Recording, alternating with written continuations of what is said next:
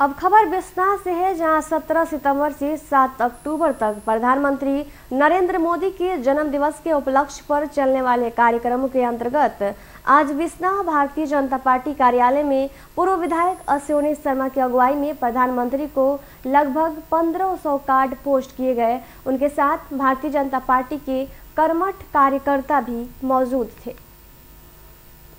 एक प्रोग्राम जे प्रधानमंत्री जी के जन्म दिवस पर हमारे जितने भी कार्यकर्ता हैं, उन्होंने पोस्ट कार्ड पर अपनी शुभकामनाएँ, अपने आशीर्वाद, अपना जो बधाई है, वो प्रधानमंत्री जी को इन गाँव से, हमारे इस एरिया से, वो इन पोस्ट कार्ड के ज़रिए भेजी है। वो आज हमने, हमारे राकेश पंत जी जो इंचार्ज हैं ज़िला के, उनको हमने लगभग 1500 लिखित कार्ड जो हैं यहाँ के जितने भी हमारे कार्यकर्ता और यहाँ गाँव के लोग हैं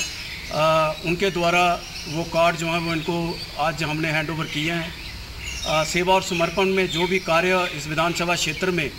अभी आगे भी सात अक्टूबर तक वो चलेंगे, उसी कड़ी में आज हमारे ज़िला के जो इंचार्ज हैं रकेश पंत जी, उनको इस कार्यालय में हमने सबने कार्यकर्ताओं ने, मेरे साथ जहाँ बीडीसी के चेयरमैन हैं, हमारे काउंसलर अपने म्यूनसिपल कमेटी के चेयरमैन राजन जी हैं। यहाँ काउंसलर हैं हमारे जयभारत जी, कुलदीप सोडी जी, हमारे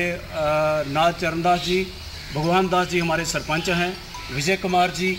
और राज कुमार जी हमारे एक्सपेंच हैं। और भी कई कार्यकर्ता अभी अपने कार्ड जो देकर यहाँ से चले गए हैं। तो